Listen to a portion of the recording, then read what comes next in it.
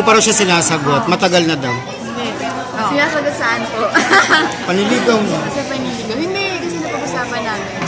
Mag-focus po muna kami sa trabaho namin ngayon. At saka mahirap na... Bakit ka tumatawa? Ang showbiz kasi. Tama ba tumawa? O, Hindi, ah, nakalimutan ko tuloy yung ano. Oo. Ayun, nakalimutan.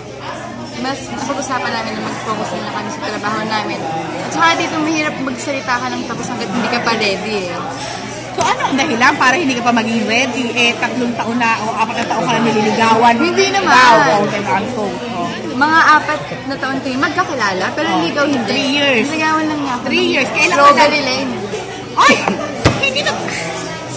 Excuse me, Miss Rose. Ano? Hirap. Strawberry Lane yun ta.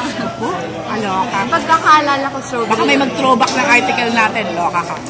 Strawberry Ah, pagkakaalala ko, strawberry. Pero, tama ba? Basta last year ata yun. Oo, tita. Promise, lane yun.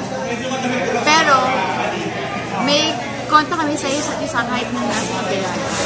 Tawag ka na matinukim, ha?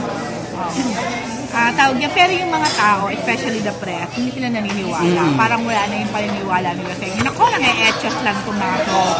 Oo nga po, halos lahat hindi nga po naniniwala. Pero syempre kasi tita, bakit pa ako magsisinungaling eh kung ayun naman talaga yung totoo? Lagi kayong magkasama, kahit nga sa IG, Sa kahit saan. Instagram, oo, wala yung big so, Kasi may ako mag-selfie. Kahit cellphone yung kukunin ko, mag-selfie ako din. Kahit naman sa ibang tao. Pero hindi kami lagi mag magkasama kami. Pero hindi yung lagi kita na.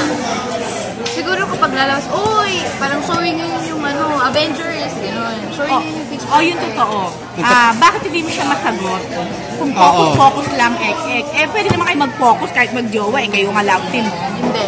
Kasi tita, hindi pa ako ready. Mahirap pumasok sa isang relasyon, lalo na kapag hindi ka pa sigurado na ready ka na talaga. Eh, bakit hindi ka pa ready? Ano kulang? Ano ba yun? Ang tagal na. Problema.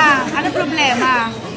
Wala, kasi mas maganda kung mag-focus ka sa trabaho mo, eh, lalo na ngayon, yung My Mother's Secret, sobrang bigat po, sobrang bigat, mahirap.